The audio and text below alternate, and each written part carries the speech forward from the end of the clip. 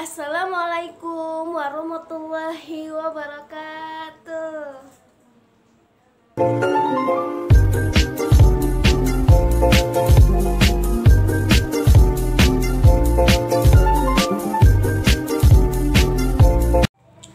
Di video kali ini sangat berbeda dari video-video yang sebelumnya ada karena aku bakal paranormal experience.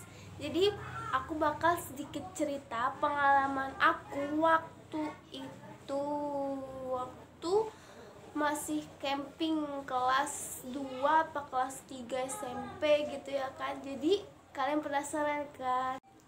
Makanya sebelum lanjut ke videonya kalian harus follow Instagram aku di bawah sini dan jangan lupa di subscribe nyalain notifikasinya supaya kalian tidak ketinggalan sama video-video aku terbarunya dan jangan lupa di like, komen dan share ke teman-teman kalian. Oke.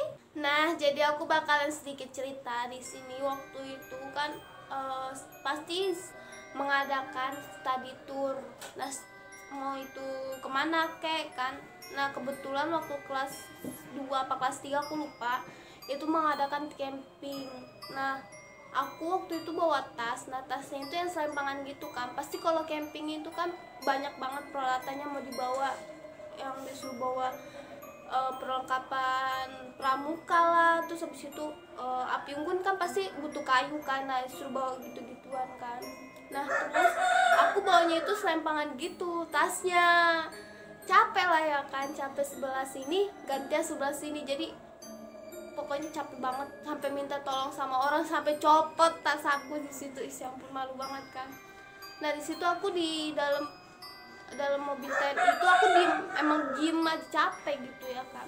Pas sampai ke daerah Bogor kami itu camping di daerah Bogor. Aku lupa di kabupaten mana gitu kan di desa mana gitu aku lupa. Nah habis itu pas sampai kami harus jalan lagi jauh. Uh tak kayak mana pun itu capeknya lagi kan naik turunnya lagi kan aduh. Kebayangkan daerah Bogor itu kayak mana. Nah terus pas sampai itu pembagian tenda kalau nggak salah ya aku lupa.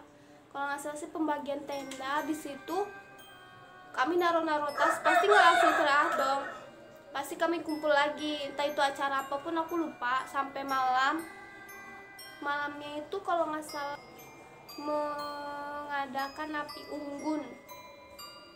Mengadakan api unggun nah di situ aku cuma ikut se sebentar aja karena emang sakit banget di daerah punggung aku itu gara-gara gendong tas yang serempangan gitu kan.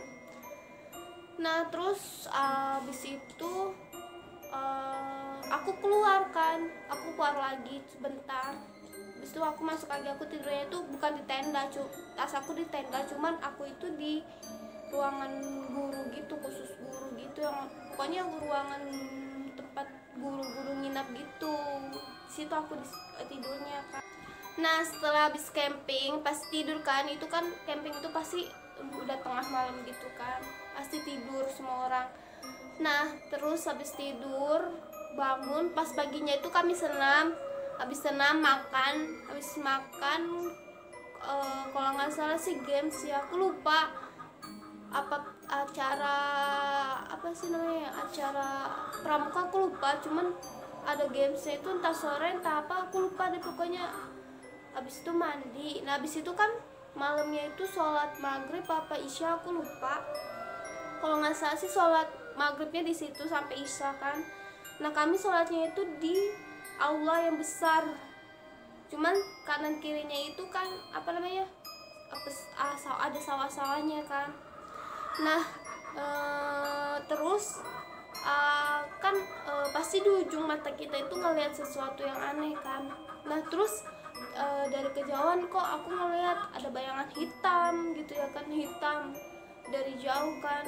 Uh, cuman dari jauh itu nggak begitu kelihatan. Tuh sama lama-lama mendekat-dekat gede banget cuma bayangan aja sih. Aku tuh nggak begitu sensitif sama mereka. Nah terus uh, pas sudah pas udah siapnya uh, aku nanya sama kawan aku kan. Nanya sama sebelahnya. Nah pas sudah siap sholat kan aku tanya lah sama kawan aku kan. Itu betul apa enggak aku mau mastiin aja. Terus yang di sebelah aku itu terus uh, aku tanya gini eh lu ngeliat gak yang samping sebelah gitu? Yang oh iya deh katanya kayak gitu kan. Iya gue juga ngeliat di situ tapi ada dua. Hah dua? Gue cuma ngeliat satu doang kok gue bilang kayak gitu. Ada dua kata dia kayak gitu kan. Yang satu warna hitam yang satu warna putih kata dia gitu. Oh kalau gue cuma ngeliat warna hitamnya aja. Di situ gue langsung nggak tahu mau ngapain. Jadi gue deg-deg ser gimana gitu ya kan. Di situ gue emang deg-degan banget. Dan gue pengen banget ngelupain itu semua. Dan gue kenapa gue bisa ngeliat gitu kan? Mungkin sekilas gitu aja ya kan. Nah di situ aku, aku merinding banget dan di situ aku kayak mana gitu ya kan. Jadi um, apa ya bingung gitu kan. Jadi pas siap gitu aku uh, langsung berdoa gitu biar nggak di gimana gimanain gitu sama mereka.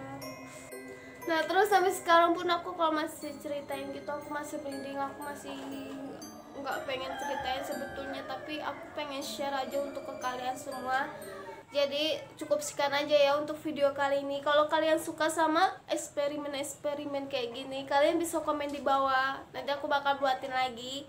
Jadi stay tune terus ya. Akan ada dua video dalam satu minggu di setiap hari Kamis dan setiap hari Minggu. Jadi stay tune terus ya. See you on my next video. Bye bye